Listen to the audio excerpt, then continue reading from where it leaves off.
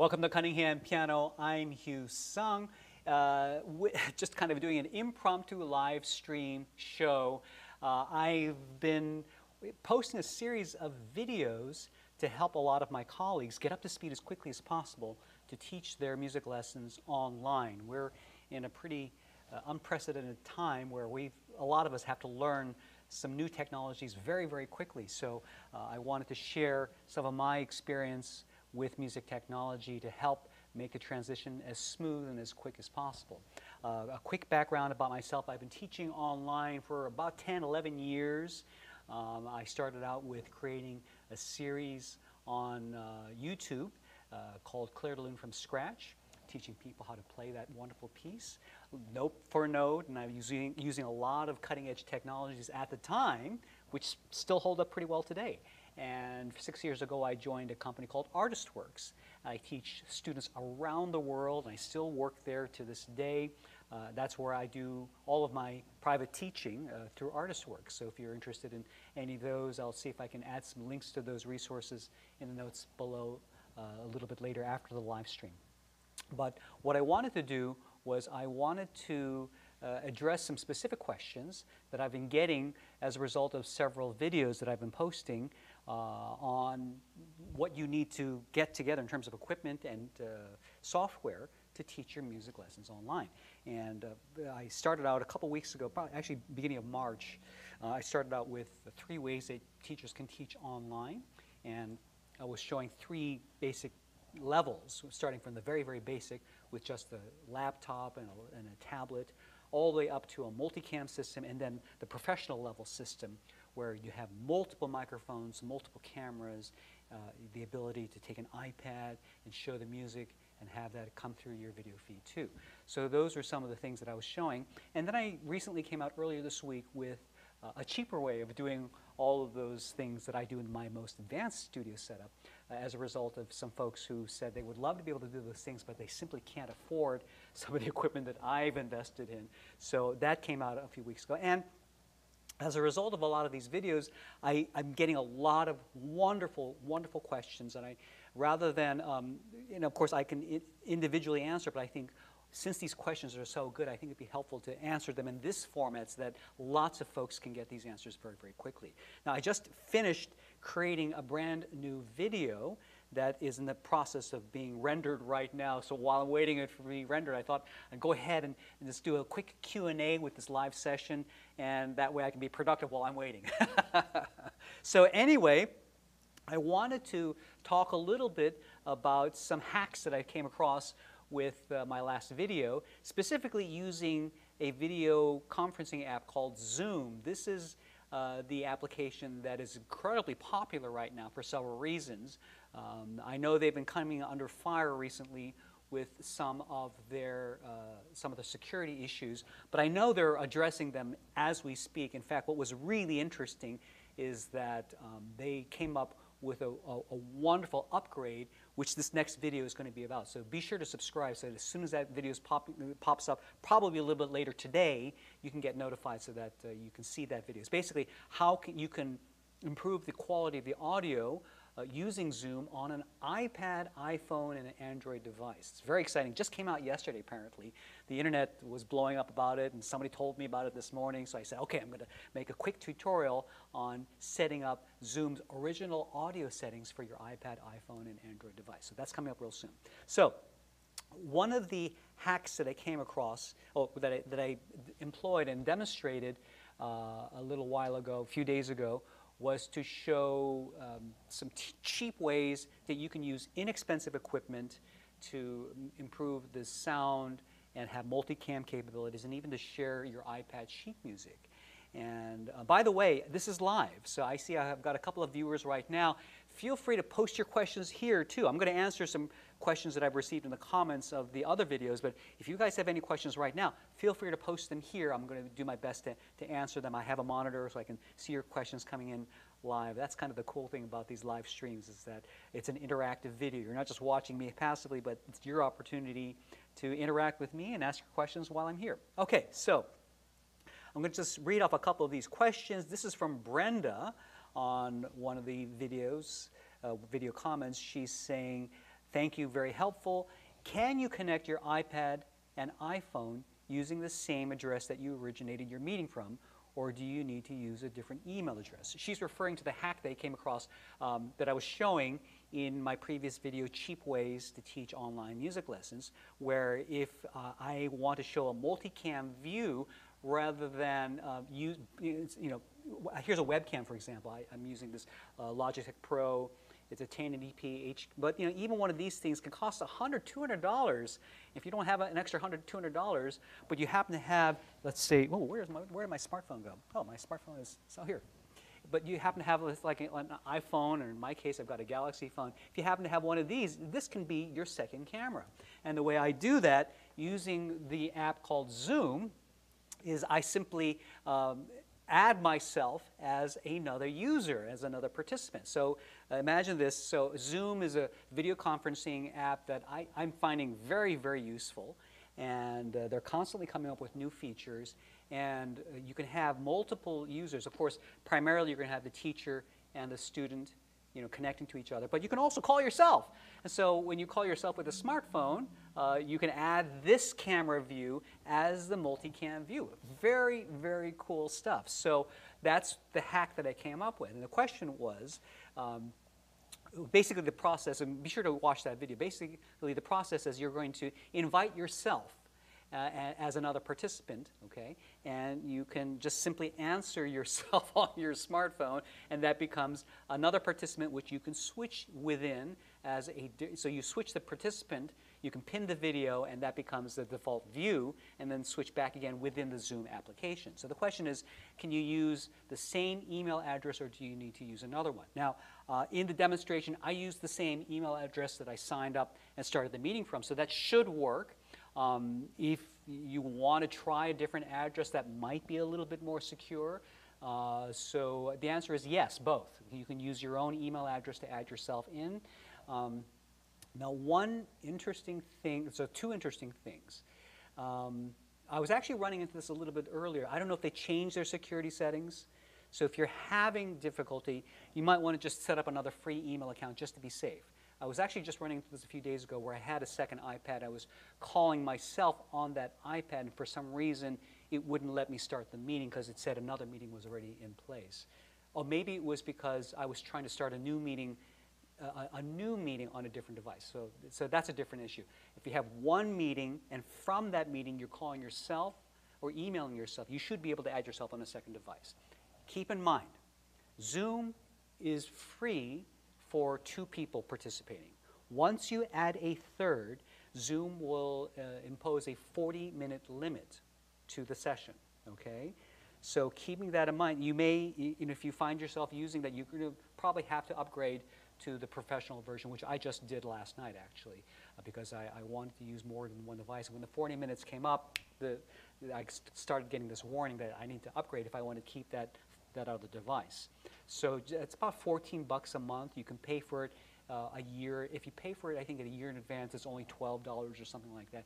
It's well worth it if you're going to be using Zoom as a professional tool to connect with your students. Oh, I'm getting some wonderful comments here. Hello, Emiliano, uh, asking where can I buy this clavier piano in Mexico? Mm, I, very good, thank you. Uh, I'll address that question in, in a little bit.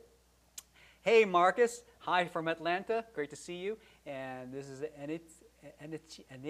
Anacito. I'm so sorry if I'm mispronouncing your name. Anacito from Philippines. How can you fix a hard keys? I mean, when you press it, it's not soft. That's, oh, you know what? I'm going to get to those questions. Let me address the online. I really appreciate your comments. Thank you so much for participating. I'll see if I can turn this Q&A. Let me focus on the online lessons first, and then I'll address some of these other questions next, okay? So uh, my advice would be, if you, you can certainly, I think, still call yourself on the same email address, but it might be a good idea, just for safety, just to add another email address uh, and just to connect to that with your other device. Okay? It's very simple to set up another Gmail account for free. Um, so that's, that's my recommendation. Okay. So next person is Myrna, who, who is asking, who's saying, I love how you explain different ways of setting in details. Thank you. I'm glad you appreciate that. So she's got two questions. Um, I have two. Oh, so number one, how do you use the lapel mic and a USB mic simultaneously in Zoom without changing the mic source? Okay, it's a very good question. So here's the problem. Uh, there is no way to do that. Uh, now, the one hack that I came across in my, my previous video that was published on Monday was to use, I don't have it here, but it, there's a Boya lapel microphone that actually has two microphones connected into one adapter. And the cool thing about that is that you can use both of those microphones at the same time. It comes with really long cables. And when you plug that in, it just comes in as a single audio source. So that's the only way that I know of to use just a microphone and not have to switch within Zoom to different audio sources if you have to switch back and forth. Now, what I have here, which you can't see right now, it's off camera, I have a mixer. That's the other option. So if you want to invest in a small mixer, uh, or a, an, another idea is to use a computer USB audio interface. With an audio interface, you can generally have at least two inputs, and to use those with regular microphones, not USB microphones, so use them with regular microphones. Uh, a USB interface uh, which is probably going to be a little bit less expensive than a mixer, uh, or getting, getting a mixer board. That's really the only way to consolidate multiple microphones into a single audio source that you can select within Zoom. Okay? So uh, aside from that Boya dual lapel microphone, which I do have a link for in the show notes of the previous video, and again, I'll see if I can add some more links in the show notes of this live video after I'm done. Okay?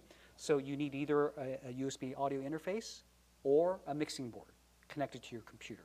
Okay? Second question.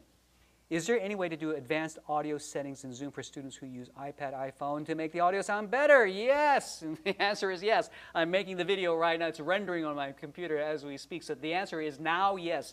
Previously, it was not. When I made the video just a few days ago, it was not an option. The only way within Zoom uh, to improve the audio quality was to use a laptop or desktop computer. Here's uh, what it is. What you uh, in the previous video actually has a walk step through tutorial on setting up what we call original audio settings or original sound settings. And as I explained in that video, and I'll explain it again here, uh, what video conferencing software does is it's optimized for speaking. The microphone will listen to the audio levels of you talking, and as soon as it hears you talking, it'll raise the micro microphone volume level. And as soon as you stop talking, the microphone will adjust itself lower. what it's trying to do is trying to cut out the background noise, and there are other software filters where it tries to cut out the echo. Those are a couple of bad things in video conferencing: echo and um, and noise level. So it's trying to make the background noise as quiet as possible, so that when you're talking, you sound very, very clear. It's great for speaking. It's not so great for music because for music, you need to be able to hear everything, you know, especially when you're playing quietly and things get, you know, you, you, you don't want the microphone to sound cut out and you miss the end of the, the note, okay? And you certainly don't want the volume level changing up and down while you're playing. So what Zoom has on the laptop and desktop version is something called Use Original Sound, where basically it just shuts off all those automatic audio adjustments and just plays the sound as it's coming in, okay? Um, now, the caveat, of course, is if you're using something like a, a tablet, I'm sorry, a, a, a um, laptop built-in microphone, you're going to get the echo. You're going to get the background hums, all the background noise. You're going to hear everything, and sometimes everything's not great, which is why it's really a good idea to get a microphone to isolate your audio sources. Now, up until just yesterday, you could only do that with a laptop. Now, as of yesterday, there's new settings where you can actually turn on original sound settings now on an iPad, iPhone, and Android devices. It's very, very exciting.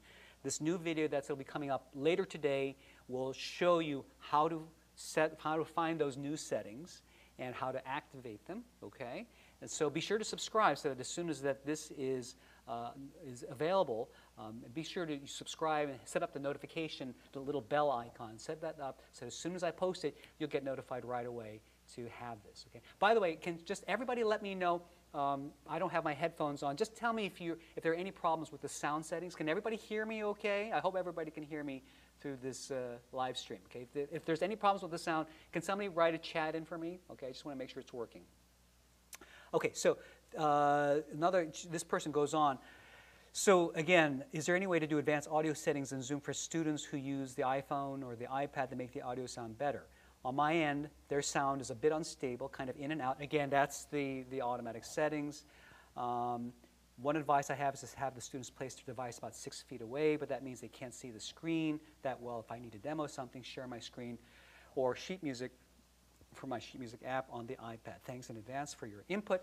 Um, so yeah, that I mean that those are all things that you know are, are part of the learning experience. Again, when we're trying to do things without buying more equipment, you know, we're going to have to work with workarounds. I mean, obviously, if we were setting up an iPad further or an uh, iPhone is not a great tool for online uh, music lessons because the screen is so small, all right? But you have to have it placed far enough away so you can see the instrument, see your position, right?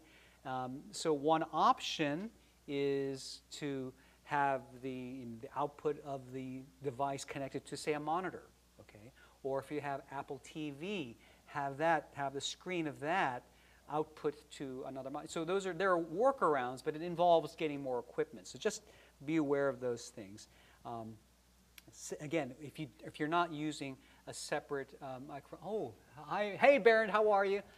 Yes.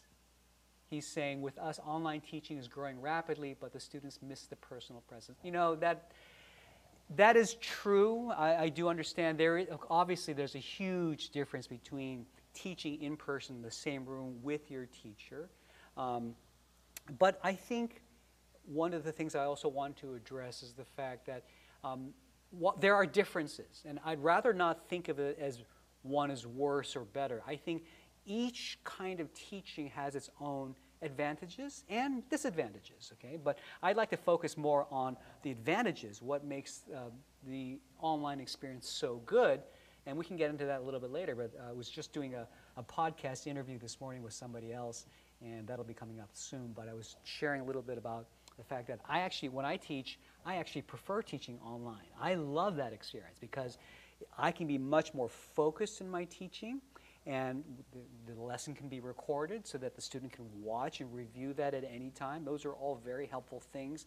The multiple views I'm able to show, hi, the multiple views I'm able to show, uh, I think give better focus you know, because they can see my hands more clearly. I can see, you know, I can see them more clearly. They can see my hands more clearly. I can show them the pedal with another camera. I can show them the sheet music, annotating. So for me, maybe because I've become so comfortable with online teaching, I actually prefer it to live lessons. I find my live lessons actually more limiting. Isn't that funny?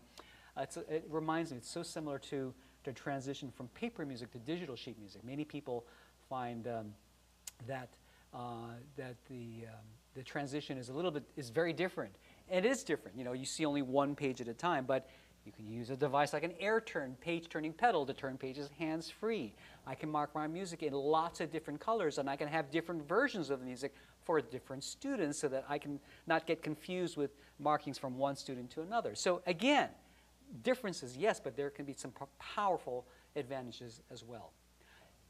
Emiliano is asking, can you make more Disco Disklavier tutorials? Yes, I will. so, you know, uh, what's going to be really helpful for me, Emiliano, is if you have specific questions about Disklavier, please, you know, post them, uh, you know, on one of our channels. Visit our website at cunninghampiano.com or, you know, leave comments and post those questions. I do see all of those questions and comments. I don't always have time to answer them on the spot, but I think uh, as I try to do some more regular live stream videos, I think that's going to be a great way for me to address those questions. So yes, if you need some more tutorials, what would be helpful for me would be for you to tell me what you have a question on. Okay, I know you're a big Disklavier guy, so I'm going to try to get to your stuff in just a bit. Okay, so thank you for your patience. Let's go on. And another person, Shimron CSUEB, says, thanks for another ter terrific video, Hugh. I've learned so much from both this video and your previous one teaching online lessons. I would have a couple of questions. If I'm using only one USB mic, oh, okay, so he's asking specifically about the, uh, the blue snowball I was talking about in my previous video on cheaper ways to teach online. In the back of the blue snowball, see, hold, see if you can see this, there are three settings, okay, one, two, and three. And I tried to explain that in the video, but maybe I didn't do a good enough job. The three different settings change the, uh, change the input of the microphone. So when you're buying microphones, uh, you may, if you're looking at them, they're going to see that some of them have different kinds of uh, patterns in terms of where they're going to pick up their sounds. Okay, an omnidirectional microphone will basically pick up sound no matter where it's from in equal measure. Something that is more like a cardioid pattern will capture sound in front of it, but try to block the sound behind. So it'll mainly focus on what's in front and try to, to block out, say, the room echo. Okay, so it's great if you want to just focus on an instrument. On the other hand, let's say you're in a beautiful room with wonderful acoustics and a great echo that you want to capture, then you want to have actually more of the room sound. Okay, do you understand the difference? Omnidirectional picks up everything. Cardioid will pick up just, it's a directional microphone. So the three settings are like this. Number one, I have it set to number one right now. The number one setting is ideal like let's say I'm talking or doing an interview or they, I want the student to hear me more clearly and I don't want the, the back of the room uh, to, to be echoey. I'll set it on number one, which is the cardioid pattern that'll just focus mainly on the sound in front of the microphone. And it'll try to minimize the sound in the back. When I set it to number two, now it's going to hear me in front, but also pick up a little bit of what's behind. Set it on number three. And now this microphone will be an omnidirectional so that everything around me, around the microphone, will get picked up. Does that make sense? I hope that's clear. So again, in most situations, and I'll, I'll be honest, here in our showroom, it's not the best acoustic space, but I do a lot of videos showing, you know, demonstrating pianos. And my top secret weapon is a highly directional microphone. I actually use either microphones from Audix. I think I was demonstrating the Audix in my previous video, or I use some DPA microphones. These microphones are designed for pianos, and they're designed with a very specific pattern that just picks up what's right in front of it, and it does a phenomenal job of cutting out everything behind it. Okay? So even though the ambient echo in this room is not great, it doesn't matter. And even though that we have like uh, air conditioners, humidifiers, background noise, you know, we've got fluorescent lights that buzz a lot. Even with all those extra distracting sounds, we even have you know, traffic out on the street. You can hear cars whizzing by. For me, it doesn't bother me at all because my microphones are highly directional. They're only picking up what they're pointing at. Okay, so those are kind of the th not not every microphone is going to have those kinds of settings, but I believe this is the Blue Snowball, which is about sixty dollars. Um, I think the, I, I, don't own the Blue Yeti, but I've heard many good things about the Blue Yeti. That would be something that's more expensive, but I think that also has multiple um, patterns, microphone patterns. So you want to look for that. The cardioid pattern is going to, oh, oh my insufficient network bandwidth. Hopefully uh, I don't get cut off. I, hopefully the stream will be all right. I think my internet is just suffering some hiccups. So let's see. Um, so when should I use an omnidirectional setting to capture both my speaking and my playing?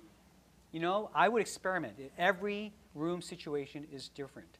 You know, if you're in a noisy environment, you know, then you might want to just have the directional. If you're in a good environment and you want to use one microphone to both hear yourself and the instrument, you might want to set it to omnidirectional. I, I, I, think the simple answer is you've got to experiment, give it a try, and see what works best for you and your student, okay? Another question. When using another device as an additional visual instead of a webcam, how do you over overcome the feedback issues that often come with having a mic next to a speaker? Okay, so what can happen is if you're having a mic next to your speaker, you'll, you'll get feedback because the mic is picking up the sound of the speaker, the speaker is, is reinforcing that, and you'll get that horrible feedback noise. The solution to that is quite simple. Use headphones. So instead of using a speaker, use headphones so that you don't have to worry about your mic placement. The headphones will, will cut out the sound of the speaker. You'll only hear it here, and it won't get picked up into your microphone. Okay, so that's the best way to, if you're finding that your microphone setup and your computer and speaker setup is causing a lot of feedback, try using headphones instead. And you may need to get a splitter, you know, depending on the setup. And again, watch the previous videos. I go into a lot of the connection issues there too, so hopefully you'll find that helpful. Okay, so going on. Um, Marie is asking, she says, great video, thank you, but I have a question. Can you please recommend some economical devices we may use to position the smartphone overhead? Thanks in advance. Great, great question. So uh, one of the things I uh, am a big proponent of is multi-camera views, particularly for piano lessons. You know, so I really like having a side view so you can see, you know, like if I'm here, I like to see myself on the side a little bit higher too so you can see both right hand and left hand, not just, don't get your camera too low. I like having a little bit higher. Right now, this camera is a little too low. But if I have it higher, I can see kind of an angled view, so I can see my right hand and my left hand at the same time. That's ideal for the side. But I also like having an overhead cam so I can see directly above, so it's a lot easier to show and demonstrate fingerings on a piano. But how do you get your smartphone, if you're using it as an extra camera, to go overhead? Well, for example, I've got this mic stand with a boom. So the mic stand and a boom. These aren't too expensive, okay? So I would, I would definitely look for that. I, do, I believe I have links for uh, a, a, pretty economical mic stand with a boom. Get this up high enough, okay, and over your head. And now, there's a couple things. Now, of course, a mic stand will not attach to a webcam or a smartphone holder. What you'll need is one other piece of. And this is kind of a specialty thing. This is something, um, I can't, can't remember the name of this, but this is an adapter that will fit on top of a mic stand but the top of it is that quarter 20 screw that will fit into just about any video camera. All video cameras have uh, this, the same size screw to attach to different tripods. Okay? So this will simply, so let me do this. Let me just kind of demonstrate this. So this little device, and again, I'll have links for this. I actually have links for this in the previous video, but I'll put links to this in this video as well. So this simply goes to the top of this mic stand over here, okay, like so right? And, and then I can attach, so you, if you're using a webcam, you can just direct, put this directly on. I actually also, you can get um, smartphone mounts. I, I, didn't think to have one here. Um, actually, I have one in my bag over here. Let me see if I can fish that out for you real quick, just to show you. Ah. Okay, let me see if I can find it. It's in here somewhere. Thanks, guys. Okay, let's see. Is it in here? It's, maybe it's in the lower pocket. Let's see if I can find this. Ah, here it is. So this is not a standard looking one, but um, you can get similar things. Um, but this is, for instance, this is a smartphone mount, okay? Just kind of a little spring on top. And again, look at that. So that will fit right on the, the little screw over here. I just screw this on over here,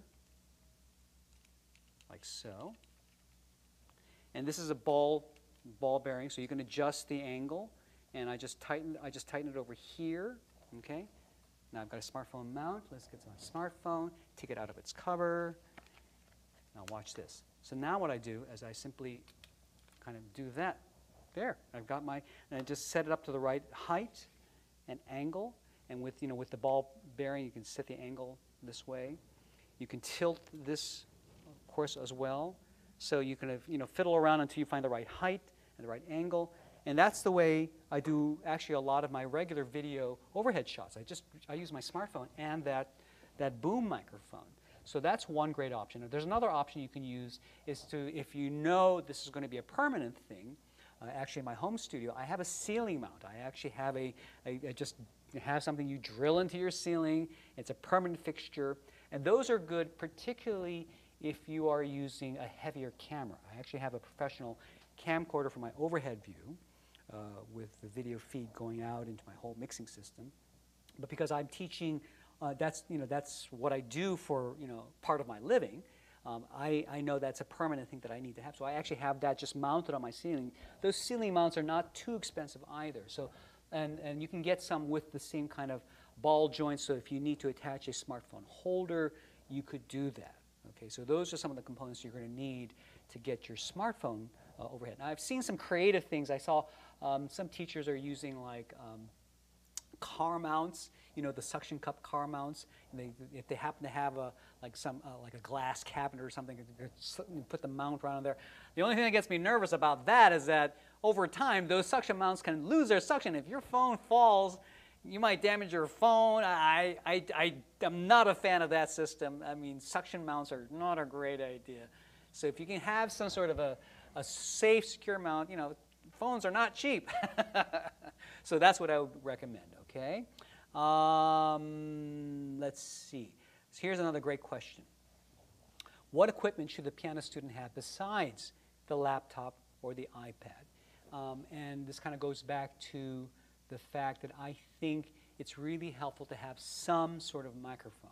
Now, um, a lot of the USB microphones, I'll, I'll, confess, I haven't really tested USB microphones, say, going into my iPad over here. But I, I think I'm going to uh, do a test in a future video just to, just to double check. I, know, I have tested my Boya microphone. That Boya dual lavalier microphone will work uh, with my smartphone.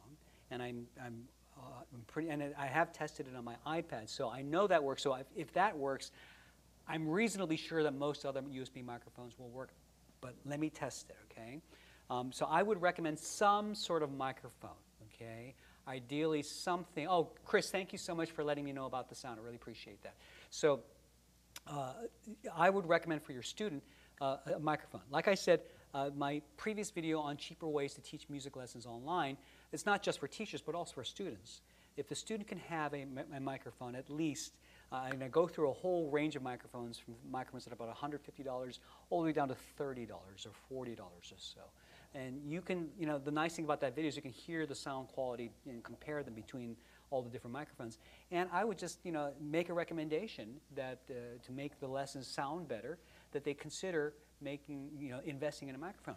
And the way I would also phrase it would be that it's not just for the lesson, but if they want to ever, and this is something that I think teachers need to be aware of. We're entering uh, a remarkable period where we're all having to adjust to these new technologies very, very quickly, uh, which is reinforced the point that I've actually tried to make for many, many years is that technology is so critical for music, for education, but also for production. We're now becoming producers.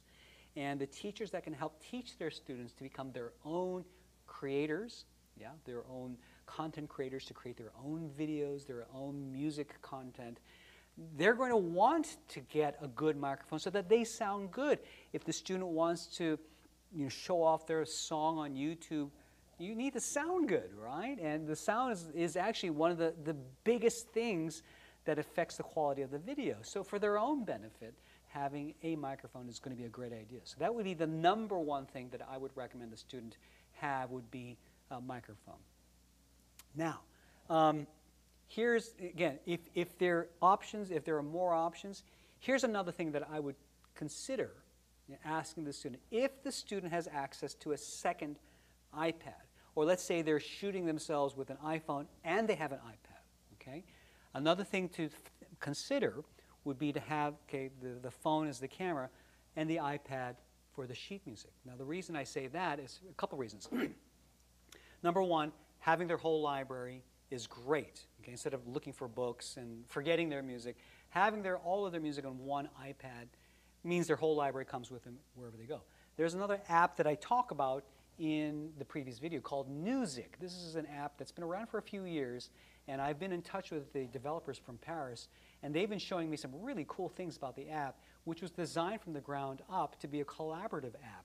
Meaning, it's very popular in Europe, apparently. A lot of orchestras and opera houses use it because they can share the, the music with all the members, and if there are annotations or notes, those notes can be instantly synchronized among team members, among ensemble members.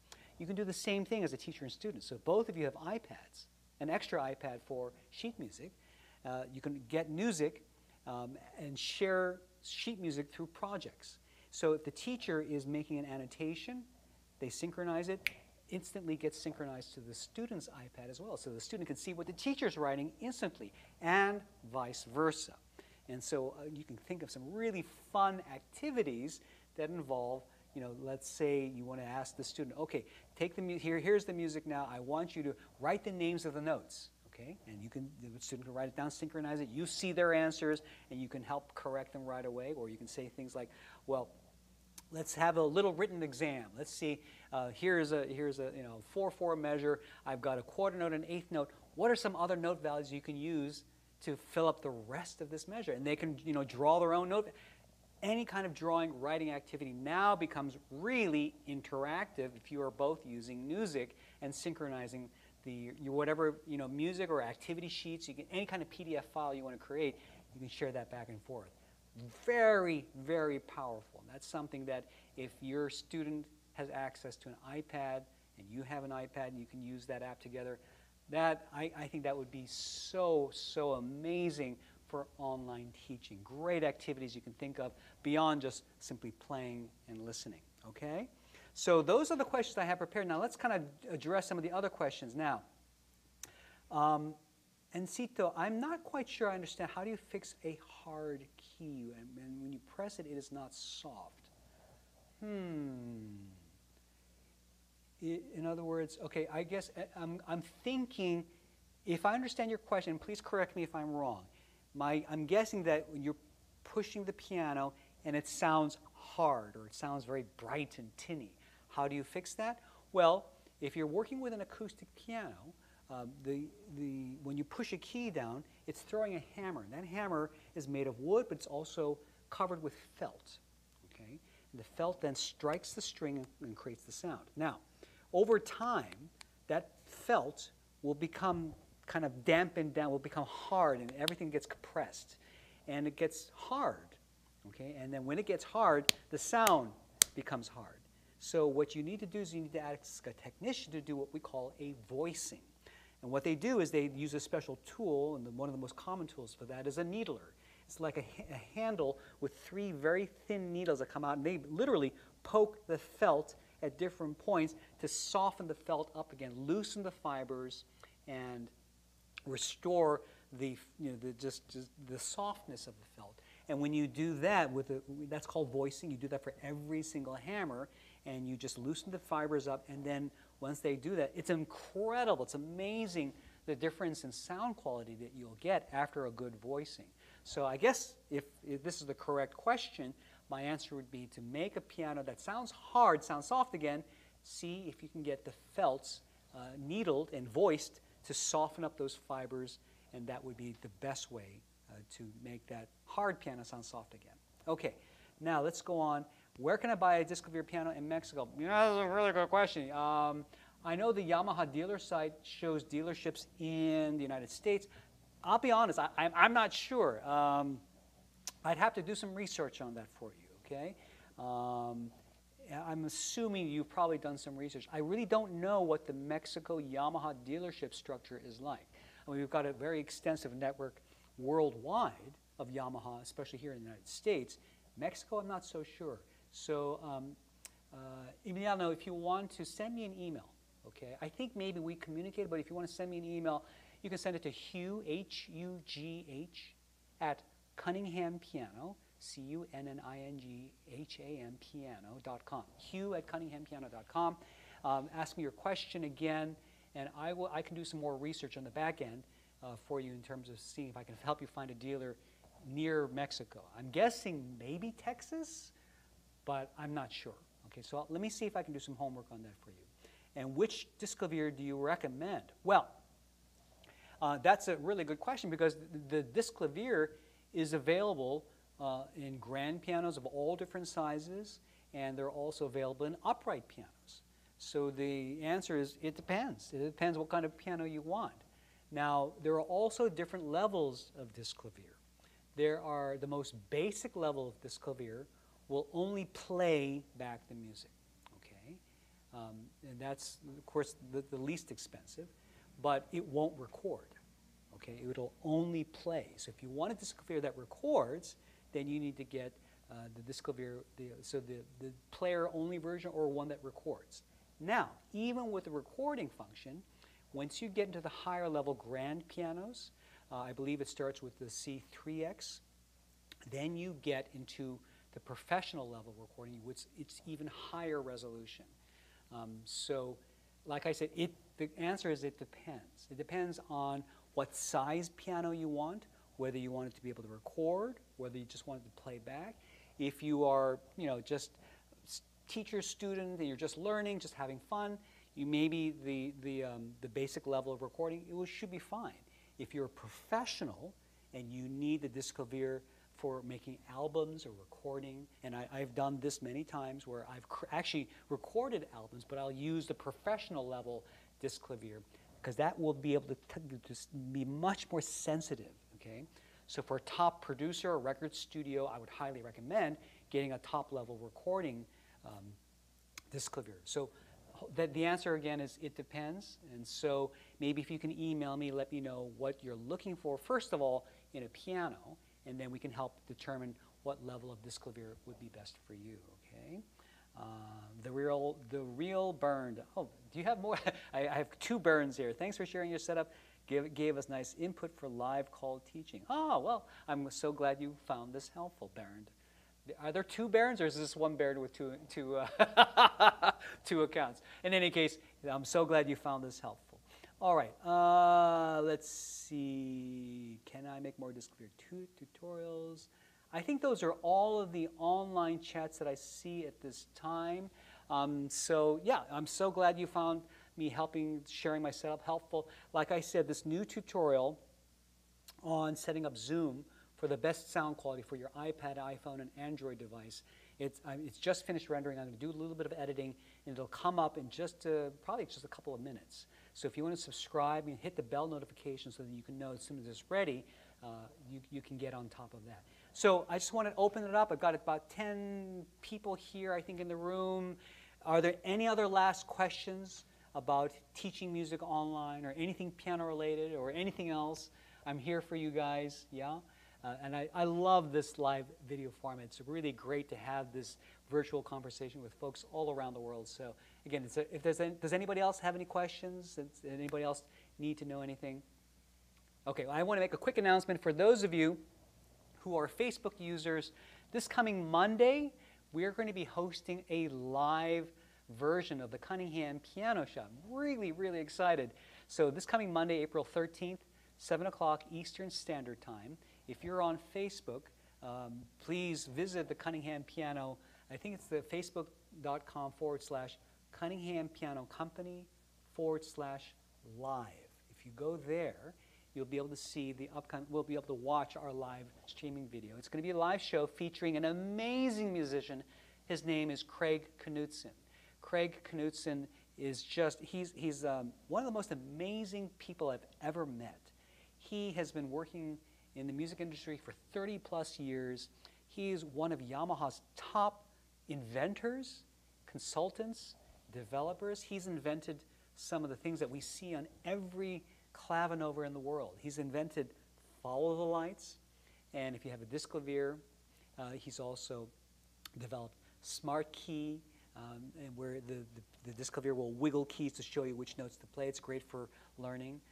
Ah, sorry. Hey, so the real Bernd is asking, did you try gaming headsets for students? No, but that's a great idea. Really, really great idea. So gaming headsets basically have headphones and a microphone. I think that that, that would be ideal. Um, the thing to, so those, usually those should be able to go right into your laptop headsets. Now the only question I have is whether those gaming headsets would work on an iPhone or an iPad. Now, with some of the newer iPhones and iPads, they have only USB-C adapters. They've gotten rid of the headphone jack.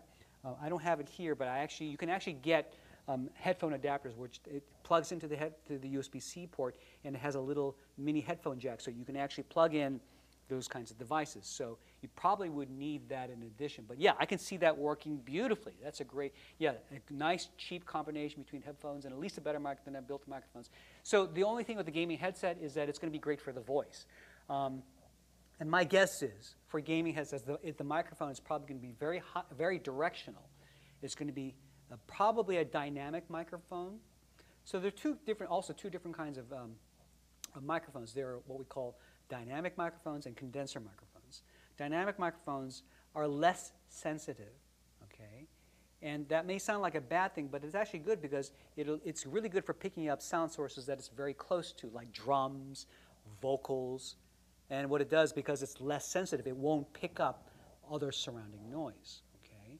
So it's probably really good for your voice. I'm not sure it would be good for the instrument unless the instrument's really, really close.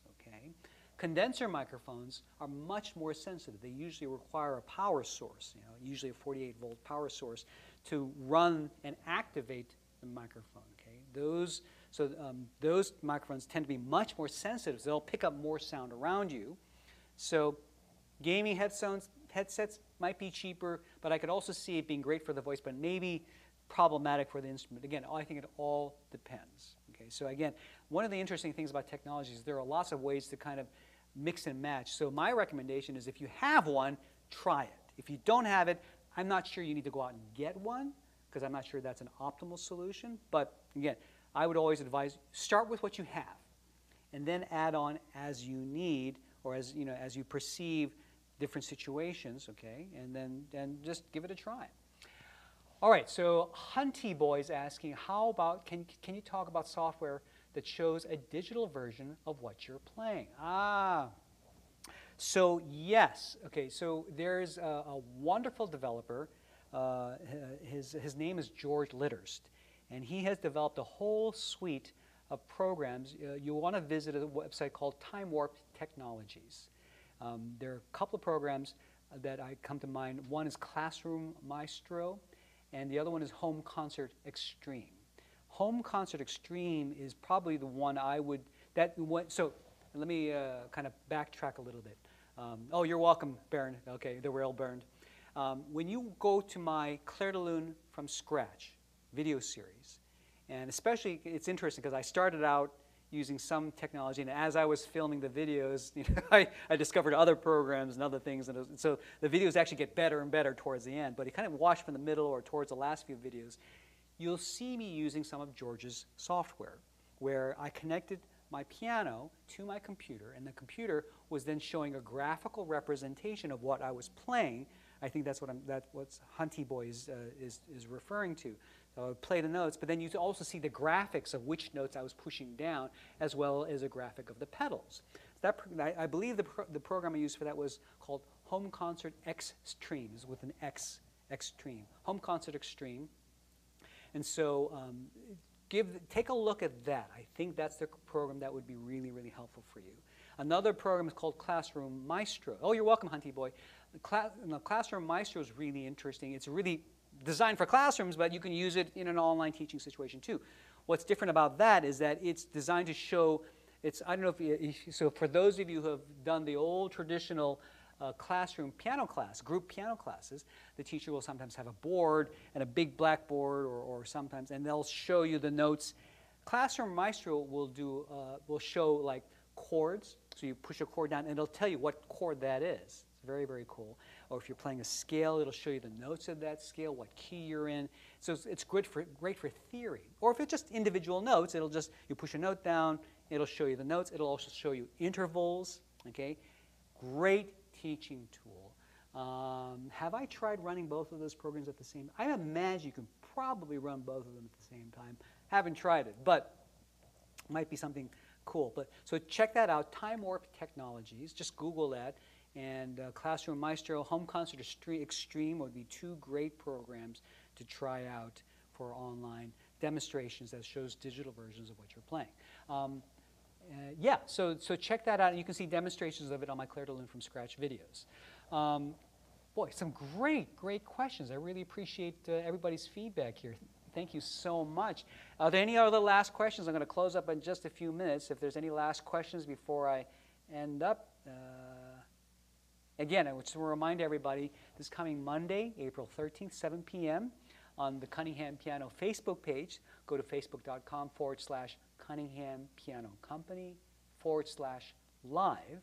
Okay, we're, this coming Monday at 7 o'clock Eastern Standard Time, we're going to be featuring Craig Knutson. This is going to be a really cool episode. It's going to be a live show on Facebook, and just like this, it's going to be an opportunity for folks to ask questions. We're going to have feedback, yeah, a question and answer session. But Craig is going to be performing. Now, he's not coming here. He lives in California. So I'm going to be bringing him in through the magic of technology, and I'm going to be interviewing him from here while he's in California. He's going to perform. We're going to hear his music, stream through the show, And basically, I have a virtual multicam operation that I'm setting up for him and me. And Craig was uh, uh, a little bit of boasting. Craig was pretty blown away when he saw how I was I'm able to set that up. So uh, that's not a feature you can normally do on Facebook Live, but I figured out a hack to do multi-camera views. So I'll be controlling multiple cameras on his end and streaming all of that. So you really want to check this out. It is a really cool application. I don't think anybody Maybe you guys can tell me if you've ever seen a Facebook Live show where you can see multiple cameras from different locations around the world all at the same time. Let me know because I don't. I mean, I, of course, you can do it in studio if you have a you know if you have a full production board and full team. Yes, professionals can do that, but you know I'm just doing this on the fly and I'm able to do it uh, through multiple locations. So we're going to have Craig. I'll be controlling his cameras. He's going to be performing demonstrating some amazing things that you can do with clavinovas. The guy's an amazing musician, an incredible innovator for music technology and music education. And he's also, I don't know if you guys know this, but uh, have you heard of the Piano Guys? The Piano Guys are one of the biggest acts. Uh, they, they became very, very famous for their incredible YouTube videos. A pianist and a cellist, and they just perform all over the world. They're huge on, on YouTube. Craig is the tech guy for the piano guys. Very, very close. So he works very, very closely with the, the piano guys team. Um, and he, he, he, they work, they were, he works with them, you know. And so he does all the technology consulting for them. And so he's got some great insights into the piano guys. So if you're a fan of those guys, you can ask him questions about that. I'm sure he'd love to you know, share his stories about them. But uh, yeah, great, great guy, wonderful musician, terrific person, and I'm so excited to have him as a very, very special guest on the Cunningham Piano Show Live. Again, this coming Monday, April the 13th, 7 p.m. on our Facebook page. Okay, so be sure to, to look for us on Facebook, look for the live page, and make sure you, you set yourself a reminder so that you can be here when we stream the show live from here and from California simultaneously. It's going to be very, very cool. Okay, let's see. One more thing from The Real Bernd. My wife has several students with e-piano and low quality mic on their cell phone. Is it possible to connect the e-piano directly to the smartphone to get a better sound via Zoom? So you have to help me. What is an e? Are you talking about an electronic piano? So is an elect is because uh, I'm not sure what an e piano is. If it's a if it's a software piano, then um, and Christine Yee says, Thank you so much. Your video really helped me to set up online. Oh, Christine, I'm so glad you found this helpful. And yeah, I mean, I've been hearing from folks all over the world, and I'm so glad you found this helpful. That's, you know, I, as I was saying at the beginning of this live stream broadcast, uh, I've been doing this for, for many, many years, but I've been involved with very heavily with cutting edge music technology for, for over 20 years, you know, and so I'm so happy that I can help share. I know, I know. Oh, electronic piano. Okay, great. So, uh, low quality microphones. So let's let's address the question about improving the sound quality when the student is just using a smartphone. You're right. This, the smartphone itself is not doesn't have a great. Uh, it's designed for the voice. It's not really designed for uh, for music. So uh, the real Baron, I'm just going to call you Baron. I hope you don't mind. Like I said, this new video should help. The video is talking about using Zoom but now you can turn on original sound settings. So most likely you won't get the cutout that happens with a smartphone. What the smartphone is doing with Zoom is it's adjusting the volume levels constantly, which is horrible for music. With this new setting that just came out yesterday, you'll be able to turn that off and whatever comes into will, should come out much more authentically. Yes, if you can get a if the student can get a microphone, that would be a huge huge help, okay? And like I said, the Boya double lavalier microphone is only $40, okay? I'll have a link to that. I have a link to that actually in my previous video, um, but I'll, I'll put the link in there here again as well. The Boya microphone is a double lavalier, so they can have one, and it's got very, very long cable. It, it's designed to, to plug into smartphones, okay? It's a great microphone. So I would recommend if you can look for that, uh, get the link to that get the Boya double lavalier. They can put one microphone on themselves and the other microphone, you know, buy the electronic piano. And that way, it's very cheap. They don't have to get a lot of equipment. They just plug it right into their phone. They might need an adapter if, it's, uh, if, if they don't have a headphone jack. They might need to have um, an adapter to get into the whatever port that is. But that's easy to find. I'll have a link to that as well. But having a, having a double microphone would really, really help the quality of the sound. Now keep in mind, um, they might have to adjust the volume levels. I was, if you hear, if you hear the demonstration that I did in the last video, the Boya's very sensitive. It's, it really picks up. It's very loud. So you might have to turn the volume down, the input uh, on the phone. But I think that would be a great, great solution rather than just relying on the phone's internal microphone itself. Does that help, Bernd? I hope that, let me know if that helps, okay? Um, great. Every time I say we're going to end, another question pops in. So I'll wait a few more minutes Okay, uh, so Baron, just let me know if that suggestion helps. Okay. Um, so yeah, and there are other. I know another friend of mine was telling me about other dedicated smartphone microphones. Uh, I know the iPhone has specific microphones too, but again, the Boya is kind of a universal thing. I really, I, have used the, the single lavalier version a lot. I've used the double lavalier version a couple of times for interviews too. I think it's a great, inexpensive microphone. It's not the best quality, but it's a lot better than just what you were going to get on a, on a smartphone. Okay, so hopefully that answers your question there. Does anybody else have any other questions? Okay, we've got a couple of people here. Directly connecting the electronic piano with a cable to the smartphone. Um, not. Um, so what you're so what Baron is asking is if there is a way to connect the smart the electronic piano directly to the smartphone. Uh, there is a complicated answer and there's an easy answer. The complicated answer is look, you can get, um, oh, I'm so glad you find it helpful. So if you want to go all out, yes, you can get digital mixers, but I don't think your student wants to buy a mixer for the phone. It's, it's a little bit of an overkill.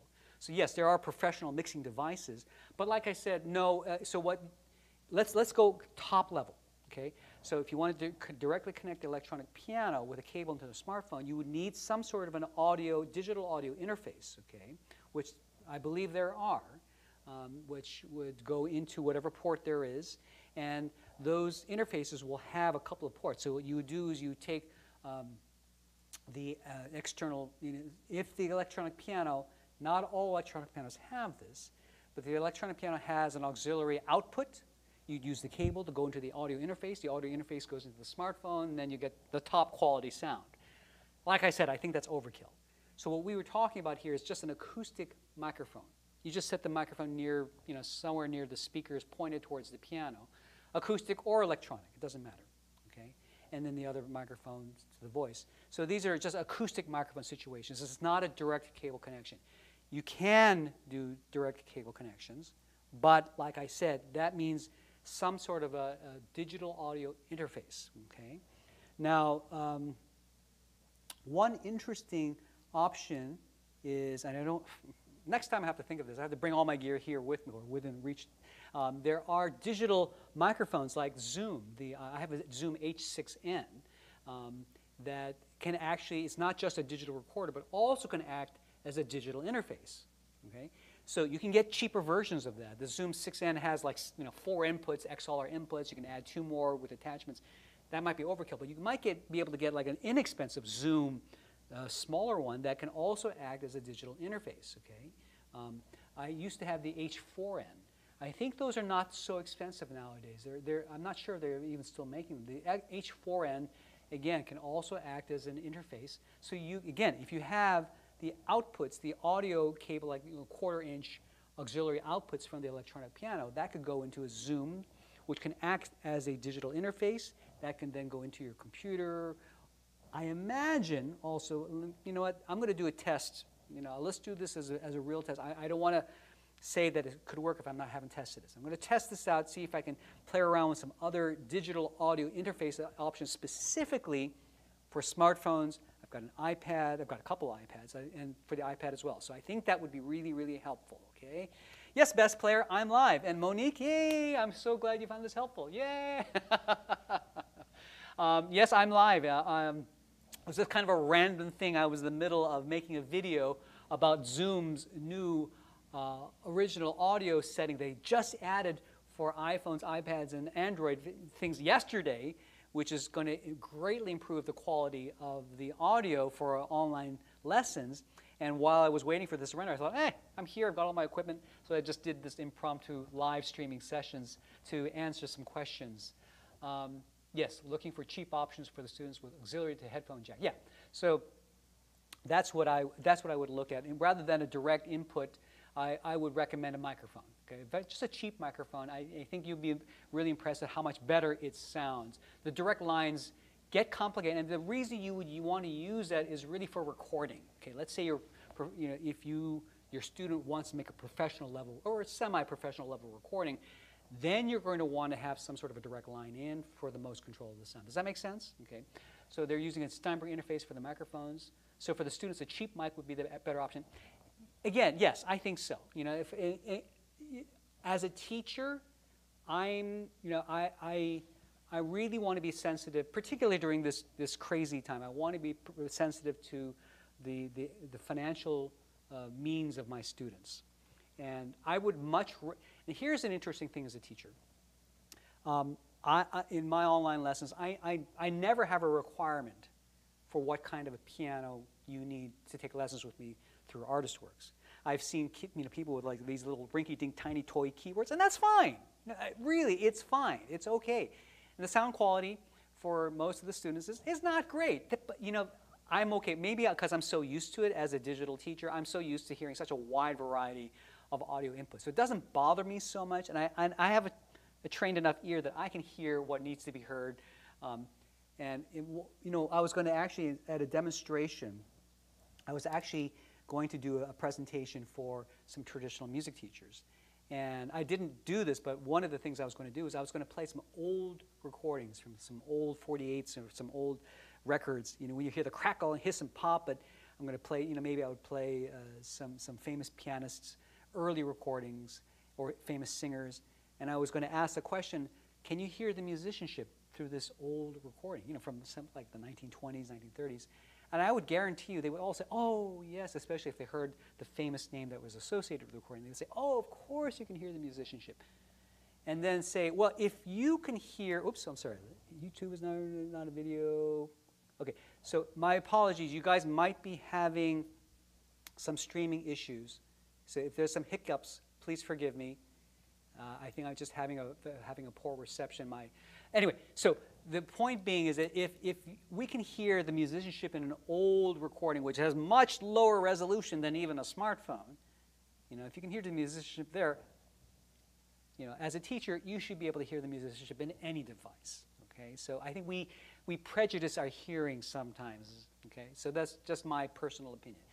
Now, having said that, um, so again, uh, I always, you know, with my students, they're welcome to play whatever they have. And I never pressure my students to upgrade their instruments. What usually happens is as their ears develop and as they improve their skills, they end up saying, you know, I, I can hear why my instrument's not so great, and I, I want to get a better instrument. Can, do you have any recommendations? And then I can step in and say, well, you know, depending on your budget, this is what I recommend. Try this, try that, right? And so I always let, let the student guide. If they feel the incentive to improve their equipment, I'm happy to help. And because um, especially as they hear other students, you know, interfacing, you know, with the online lessons, they can hear the difference in quality, and they want to sound good. That's the whole point. If your students want to sound good, then you can be the guide to give them the, the best options. And so hopefully what I'm sharing in terms of the options that I've used will help you to make those recommendations for your students when they're ready.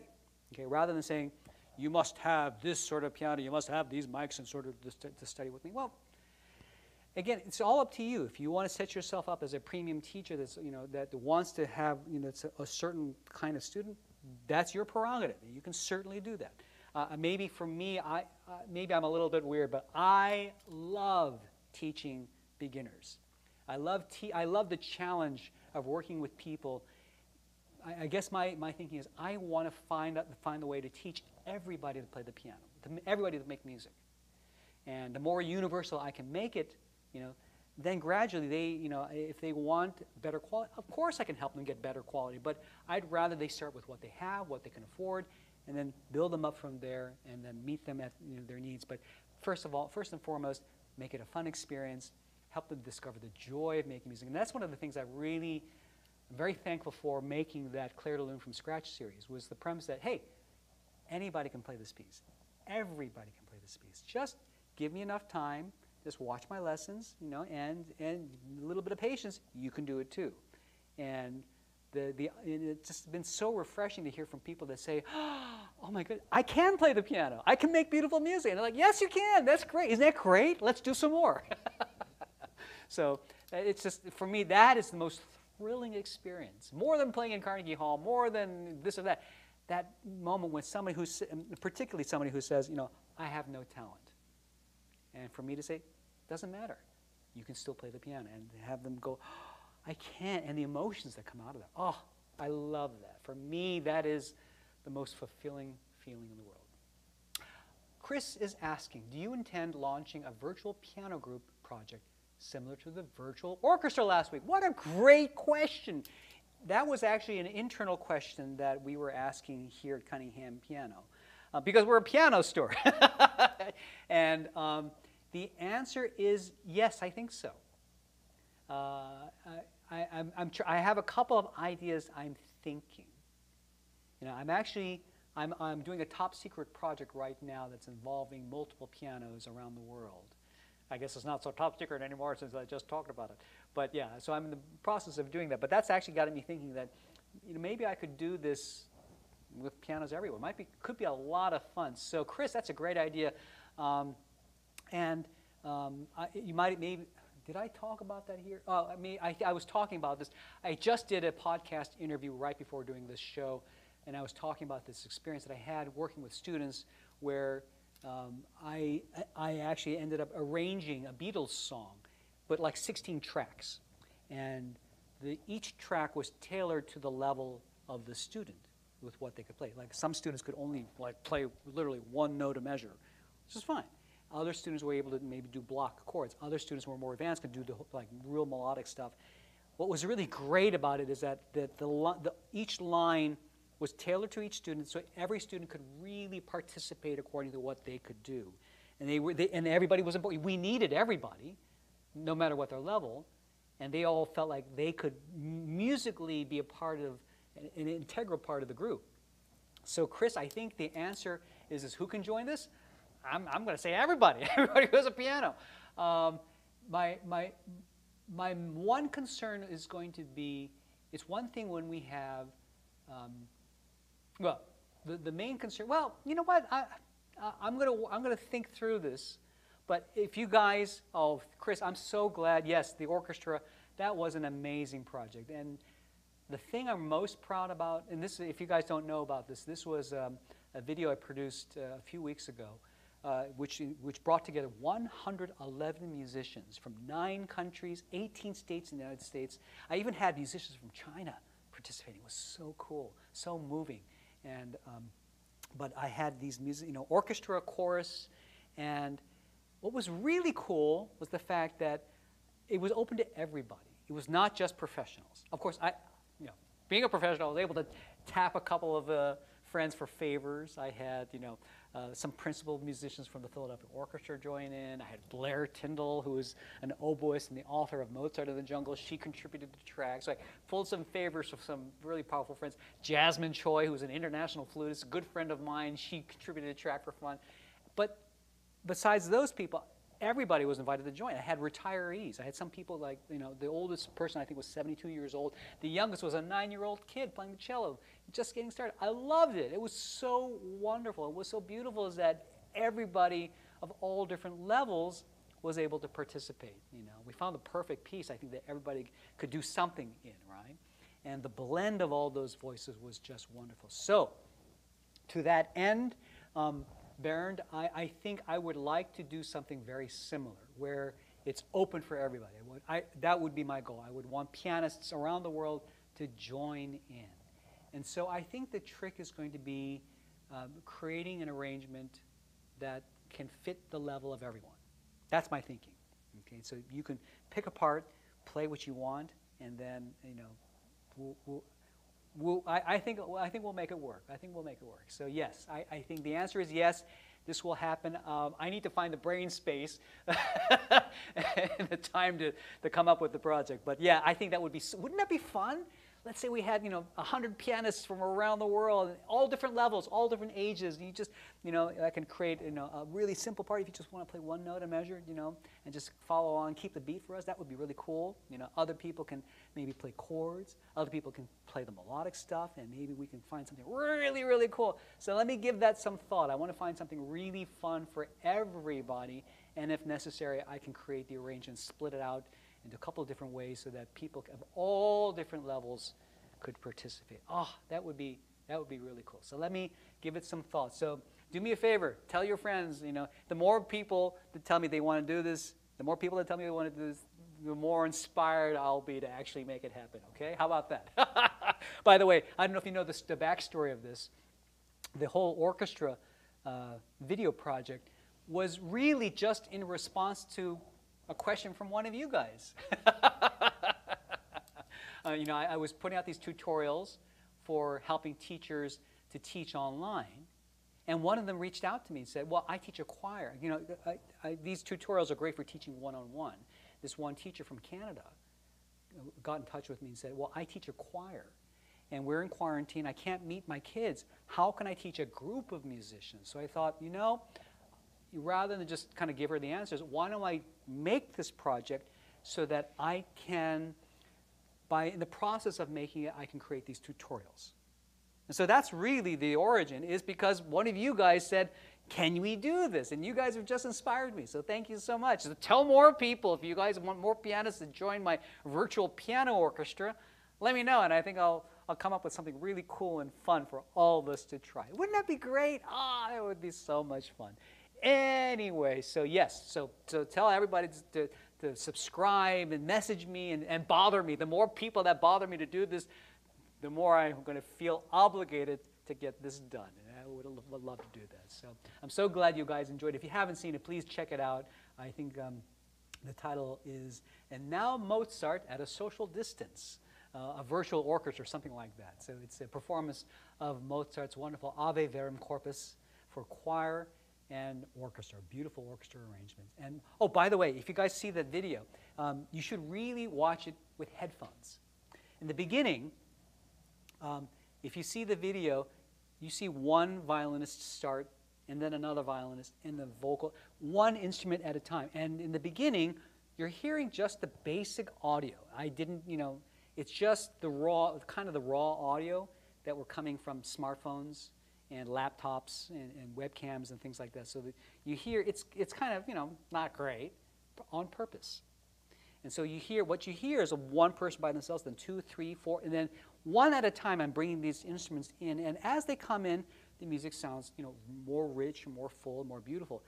And then the halfway point, I I then reveal the full stereophonic audio spectrum where I do the full processing, full cleanup, and I actually have all the instruments, just like you would find in an orchestra, in a stereo pan.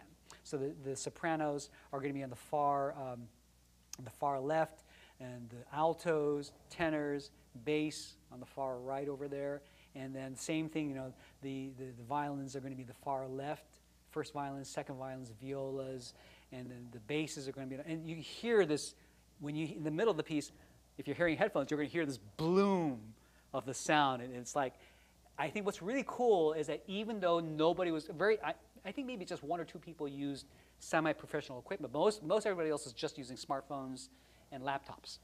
Even with just that stuff, I was able to clean up the audio and make it sound pretty cool. So you hear the sound bloom in the middle of the piece, and the second, when you watch the credits, that's the full performance from the beginning with everybody mixed in. So do watch that again with headphones. I think you're going to really uh, enjoy it a lot more. It's a lot of fun. Okay. So let's see. Any other questions? Boy, this ran a lot longer than I thought. Any other questions? Last questions before I close off for the day. Uh, again, my name is Hugh Sung. I'm with Cunningham Piano. We're, we're officially closed, but I've turned the store into my own personal man cave. Let's see. Oh, your wife wants to join. Oh, on the piano, we would love to have your wife join. That would be great, you know. Um, I, my, you know, like I said, I would love to make this accessible for pianists of all levels. From absolute beginner, let's say somebody's just started to learn how to play the piano, I would love to make it a way so that they can feel like they can participate. Up to, let's say somebody's you know, really advanced, they want to have a challenge. I'd love to do that too. Yeah, I think it would be a lot of fun too. Yeah, that's the goal. so spread the word, get everybody excited about this, and if everyone wants to do it, I'll, I'll create the project, I'll create the format, and uh, we'll put that together. That would be so much fun, wouldn't it? Okay, so thank you. I want to thank everybody. I really, I had a great time with you guys. Thank you for your great questions. Thank you for participating. I love this live streaming format. This is, you know, it's, it's one thing. Have I posted the tutorial about how to create a virtual choir in real time? Yes, I did. Well, I posted part one. I don't know if you've seen it yet, but part one is up. Okay, if you go to Cunningham Piano and just you know put in a search word for um, chorus or choir, and you'll see there's part one of the tutorial has been. Oh, ask your students. Yes, yes. So part one has been posted. I've got a ton of footage for part two and maybe part three. I just haven't had time to put it together yet. So the, the first part of the tutorial basically shows the setup, okay? And um, how you can assemble all the footage, how you create the conductor video, and how we, uh, and the, the next part of the tutorial will be how I receive the videos and then some of the editing processes. You'll see it kind of behind the scenes of what software I use, how I align things up together, and it doesn't go into the full the, the, full advanced stuff. I don't think I recorded that, but you'll you'll see you see the premise of how it, it comes together. So yeah, so those two. Oh, so you saw that already? Okay, so so I apologize. The next part hasn't come out yet, but hopefully. Hopefully soon. So as you can probably tell, I've got a big backlog of videos to make, but that's okay. But thank you for reminding me. I will try to work on that. So I, um, so that's really the next part. And and again, I want to, I'm, I'm, creating more work for myself, but one of the things I'm thinking about too is the fact that um, uh, the, I use professional software. I use Adobe Creative Cloud Suite, uh, so I'm using Adobe Premiere for the video editing, and I have some very specific reasons why I use that program. I also have Final Cut Pro, but I just found Adobe Create, uh, Premiere better for multi-track editing. And I use uh, Adobe Audition for the audio processing. So those are the two primary programs I'm using to create the, the, the blended video. Um, so uh, when the tutorial comes out, you'll see that process. Um, I, I probably, I don't, I, and it's just, the tutorial will show you a basic grid tutorial, just to show the, how I made the grid. Um, not the advanced grid, just the basic grid. So the, the, that part came, it was the last minute. I spent 24 hours nonstop editing at one point. Uh, because we had this new visual idea, which was the final result. So anyway, but thank, Hunty Boy, thank you so much. I appreciate you asking about that. I will try to get that out as soon as possible. Um, yeah, so uh, just out of curiosity, if you guys don't mind before I close off the show for good, does anybody mind, just whoever's left here, I got 16 folks here, uh, just tell me where you guys are all from. Okay, just tell me uh, your country, your city. I'm just really curious to see what the reach of this is. If you guys don't mind, letting me know where, where you're from. I'm here at Cunningham Piano in King of Prussia. King of Prussia is uh, on the outskirts of Philadelphia. Um, sadly, we're also one of the epicenters of uh, the coronavirus here in this region. Um, although you know every, everybody's being very very careful. The store is closed. I'm all by myself. I'm being very very safe. I do have a mask, so when I go out, please don't worry. I'm, I'm being I'm taking care. I'm being very very safe and careful. Um, so Somebody's from Massachusetts. Hey, thank you so much. Really appreciate it. Where, where else is everybody from? I know one of you is from Germany. I know. this is somebody who actually studies with me on my online school. Lancaster, UK. How cool. Germany, Bavaria. Ah, this is so, so neat. It's wonderful. Hong Kong. Wow. How are things in Hong Kong? I hope things are a little bit better now. Yeah? Things better for you over there? I know, uh, just, I, I have friends Oh, hey, Gary, St. Louis. Hey, welcome, welcome. Colorado and Germany, yes. Oh, wonderful. Well, Calvin, please stay safe. I, hope, I, I hear things are getting better out there. I hope that's the, uh, that's the case. Please be, be, be very. Um, it's true for everybody. No matter where you are, please, please, please be careful out there. We want you to be safe. Yeah. Um, Colorado, Germany, Hong Kong, Bavaria, Lancaster. This is so cool. Anybody else? Where else are you guys from? Where else are you guys from? So uh, King of Prussia, uh, our store is actually right, located right across one of the largest shopping malls in the United States, which sadly is closed for now. We, uh, all the major stores have been, you know, mandatory closures to help um, flatten the curve. Um, so we're all doing our part as much as we can, which is kind of giving me an excuse to, to kind of live in this store. I kind of live here. I brought all my stuff with me. Oh, you're welcome, Calvin. Please, please, please be careful out there. Some very, very good friends in Hong Kong. So uh, I'm so glad. I just want you guys to be safe out there. Australia, how cool! Thank you so much. And the Outback, wow! We've got a real global reach here. This is so cool. Thank you guys. I really appreciate you guys keeping me company and participating in this kind of ad hoc session. As you probably guys, you guys probably know, if you missed the beginning of it, I answered a whole bunch of questions uh, about teaching online and specifically uh, some other answer the questions about microphones, about setup, so, you know, you, after the stream is done, you should be able to watch it again. You know, this, uh, that's the nice thing about YouTube Live. It automatically saves the live sessions as recorded videos, okay? So I'll probably do this again because um, I, this is for me, um, I find this so much more fun to make a video to answer questions rather than just kind of type out my responses. So if you guys don't mind, I'll do this on as, as, as often as I can. Um, uh, and uh, if you have more questions, feel free to post them in, on our various channels. And uh, oh, oh, great, great, great. I'm so glad you found. So Jay Smith, I'm so glad that you found the videos helpful and that they've helped you set up your own online piano lessons. That's great. Chris, you're very, very welcome too. Again, I'm so glad that could be helpful. I've heard from many, many people. I'm just very glad that in this challenging time that I have something that I can share that folks can have found helpful and uh, hopefully to keep my colleagues, all of my musical colleagues around the world, gainfully employed.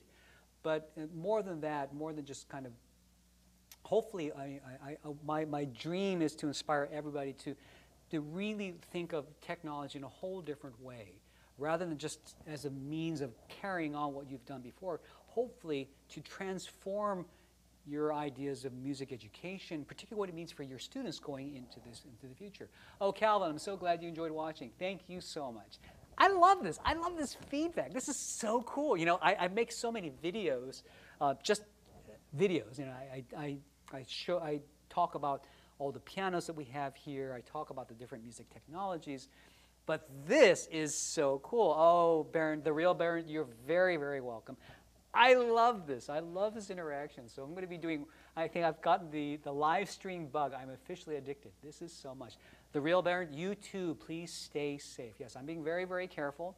I have masks and I, I have got enough food in my kitchen to last me for several weeks, so I, I'm well stocked. I, I love to cook and I'm just, uh, I'm being very, very careful. So I really appreciate it. And everybody else here, also, please stay safe. I really appreciate you guys hanging out with me, spending some time. I hope you learned something. Um, and again, if you guys ha have questions, if I've missed your question, leave them in the comments. We've got lots of videos. Feel free to you know, leave some comments there. Visit our website at cunninghampiano.com. And we've got, you know, you can see a lot of my past videos there too. And if you want to see a little bit of my personal life, some of my pre-quarantine travel videos and foodie videos, visit my personal website at hughsung.com. Uh, I, uh, I just I love creating content. All right, Pat. Thank you for that thumbs up there too. You, uh, and from my, from everybody around the world, thank you so much.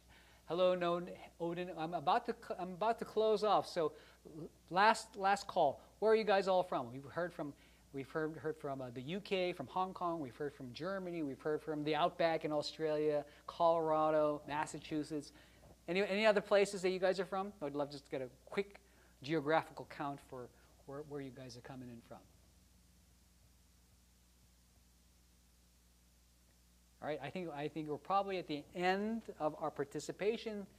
And uh, I want to thank everybody so much for spending time with me and for the kind of the free flow of the show. And we'll do more of these. Like I said, oh, the U.S., great. More U.S. folks, great. No Odin, great. Thank you so much. And like I said, if you enjoyed this, be sure to subscribe. And uh, right now, I haven't set up a regular schedule. I'm just kind of posting this whenever I feel like it. Um, if you guys enjoyed this live streaming show format, let me know, and I, I may try to make it more of a regular feature, particularly you know, while we're closed. so, you know, uh, uh, this is a great way for me to, to answer a lot of questions, post the questions on our website at cunninghampiano.com. You can visit me at hughsung.com too if you'd like or YouTube videos, of course, you can leave comments there. And I was just answering questions. Oh, Jane, you're very, very welcome. I'm so glad you found this helpful. And um, like I said, I, I spent the first portion of this live stream answering questions that were posted as comments on the videos. So keep them coming. I, I am reading them, I am collecting them, and I will probably have different topics that I'll answer questions from on future episodes. Ah, what keyboard is best for beginners? You know what, No Noden? That's a big topic. So why don't I save that? Do me a favor. Post that on one of the videos or go to our website, post that question or you know, find a comment. That's a great question and that might be the topic might be the topic for my next video because I do that's a that's a big question, okay? And there's a lot of things to take into consideration for that, okay? Great. You know, no that's that's uh, so um, a lot of it's going to depend on your age, okay? Your living situation, um, and uh, you know what kind of music you want to learn. Um, there's there's so many different options. Uh, like I said, visit. So known Odin, here's what I recommend for you. So you want to figure out a keyboard, what keyboard is best for beginners. Visit cunninghampiano.com, and I would say start exploring. Okay, because I've got videos on almost all the pianos that we carry, and just watch. Watch a couple of videos. See what you like. Okay because there are so many ways to learn. In fact, uh, and like one example is I did a video on um, there. Sometimes you can learn with apps. I know a lot of people lear learn from YouTube, right? Um, there's an app called Flowkey that I did a video on at the Cunningham Piano website. Check that out.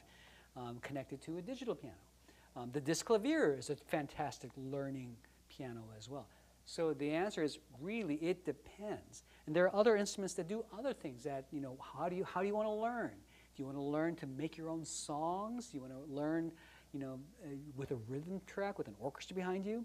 So you can see th there's a whole world out there, you know, and so a lot of times I think for beginner keyboards, you know, it's a big open-ended question, okay? So um, rather than saying, get this keyboard, get that one, that's the best one to start with. Well, then, like I said, it's a big question. So my encouragement to you would be visit cunninghampiano.com, explore our pianos. We've got lots, I've got videos on so many uh, different instruments. Got videos on different technologies, different apps. The Yamaha CSP 150 is a great, a great piano with streaming lights. So lots of different ways. You know, traditional approaches, we've got silent pianos, Disklaviers.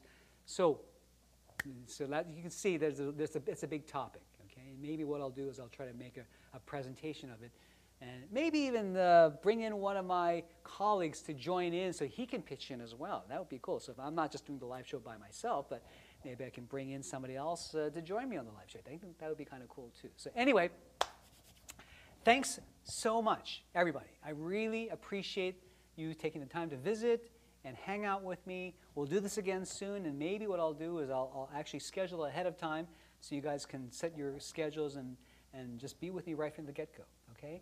Thanks so much. All right, No Odin, you're welcome. Thank you so much for visiting. And I'm going to call it a day, and I'll see you guys. Be sure to subscribe, and I'll see you guys next time. All right, let's see if I can get this to go. Goodbye. Take care.